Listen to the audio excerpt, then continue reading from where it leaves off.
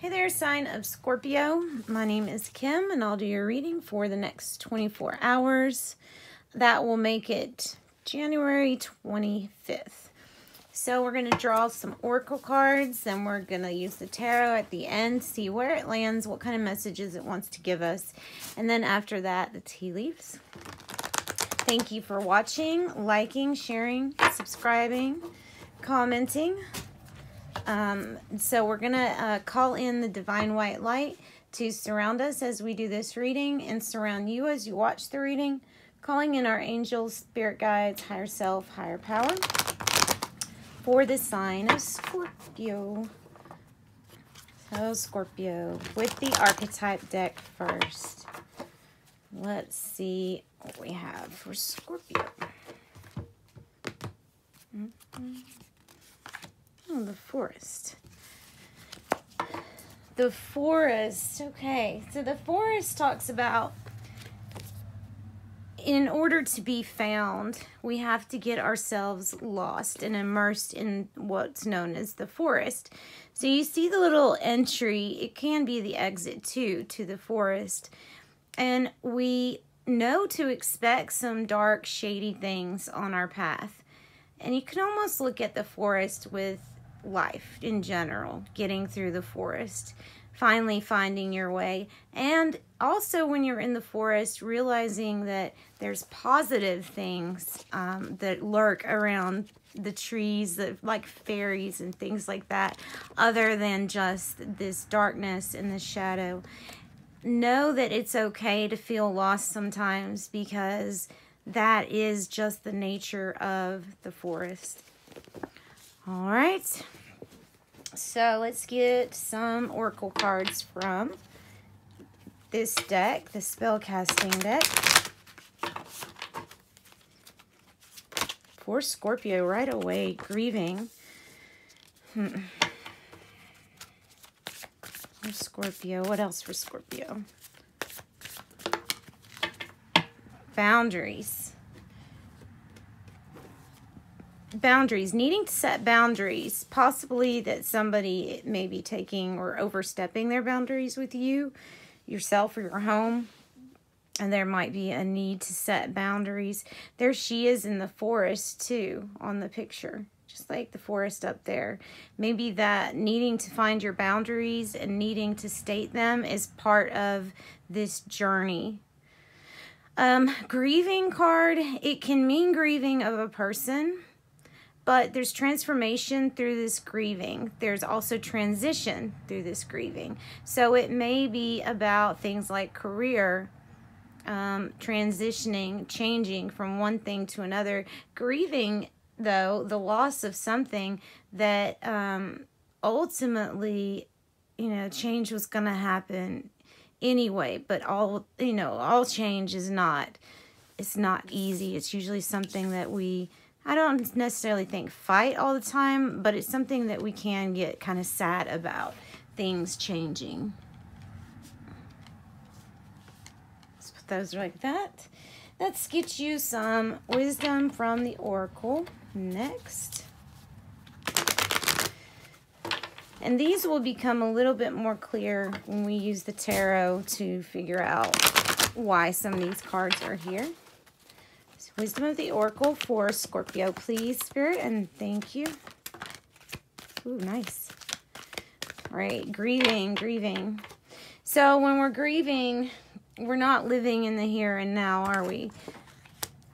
I mean, unless we're in the middle of a trauma happening, then right now, here and now is coming out to say, um, maybe this grieving, you know, over something from in the past needs to be dealt with so that we can live in the here and now and then we can appreciate the positive things on our path from this point forward without dwelling on some of the things from our past. Some of the things that keep us lost in the forest is being tied to memories that we can't seem to shake which I think happens to everybody, but let's see. Let's get you some cards from the Energy Oracle for Scorpio, please. For Scorpio.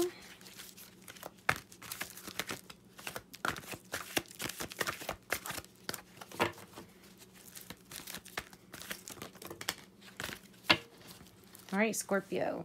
Ooh, we have door to value on the bottom. Nice.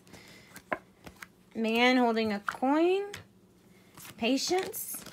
Understanding the anxiety that comes with having to wait for something to get stable again.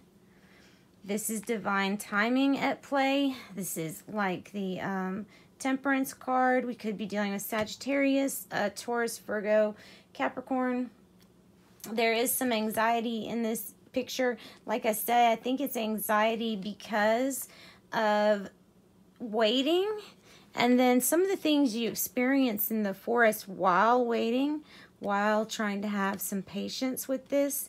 This has to grow and be at your vibration before it materializes. So the anxiety is just kind of making things worse because we're living in the future usually when we have too much anxiety, thinking the what ifs and the what could be. So we get depressed when we live in the past too much. All right, let's get some tarot and let's see if we can clarify some of these cards for you, Scorpio. All right, tarot, what do you have to say to Scorpio? All right, patience boundaries for you do, maybe doing too much, taking too much on. Um, something has become like a burnout burden, feeling like you're having to take on all the weight. This is this will be resolved in with divine timing.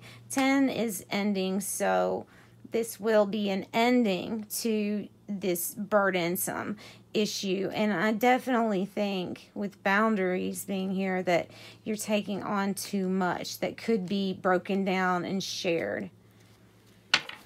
All right, so hang in there with divine timing. for Scorpio. All right, grieving and man holding a coin. We have King of Wands. Leo, Aries, Sagittarius, this is a masculine energy of creating something new. So maybe something that's gone that you're grieving over, something brand new starts to blossom, something that you create that you're like an entrepreneur for. And it's going to end up giving you your pentacles too. This person is really good at business and, and getting their things going, like the action part of um, implementing a plan. They're very good at it. So we have a lot of masculine or creating energy here. All right, let's get some more. Whoa. There's the waiting again. All right, so we may need to wait for this grieving to pass. Obviously, time heals all wounds.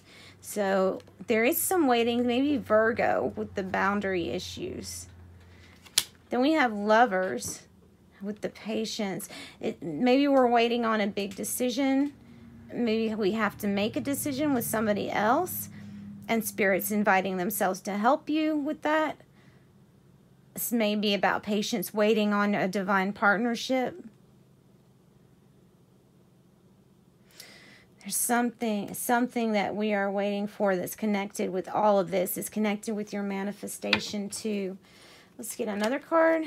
There we go. That just kind of landed in my hands. But Four of Pentacles, don't be too greedy or don't let somebody be too greedy with your time, your space, your energy. Uh, guard your energy, but don't be shut out. Um, invest in yourself. Just don't burn out. Don't, don't get to burnout phase. We do have the Nine of Swords on the bottom.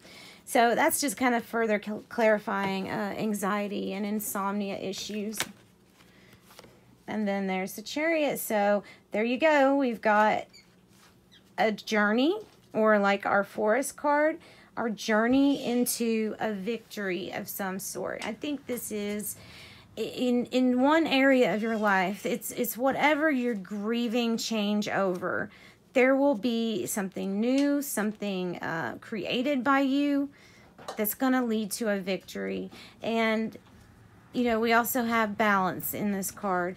We do have hills to still go over, but it's very doable with the chariot. And in fact, this will come in, the news will come in faster than you're thinking. So we might know that we're waiting for something, but news might come in faster than you're thinking. You may be pleasantly surprised. All right, let's get you some tea leaves, Scorpio. All right. Oh, wow. Look at that forest on top of the forest. Muddled, unclear thinking, maybe because of being lost at the moment. Dragon, beware of self-delusion. Dark woman, dealings or relationship with a woman with dark complexion or dark hair. Bowl, plenty of material things. Definitely the king of pentacles there. Tortoise, slowly but surely getting ahead, and that landed on patience. It might feel like burnout, but you are getting ahead. And then look at that. Coins, money will be coming to you for sure with that pentacle energy. All right, so this is a journey. Don't get lost in some of the past or future energy. Realize that you are in the forest. Some of these feelings you're meant to go through and feel and process. All right, Scorpio, thank you so much for joining me. Join me for your next reading. Sending love and light out to you. Bye.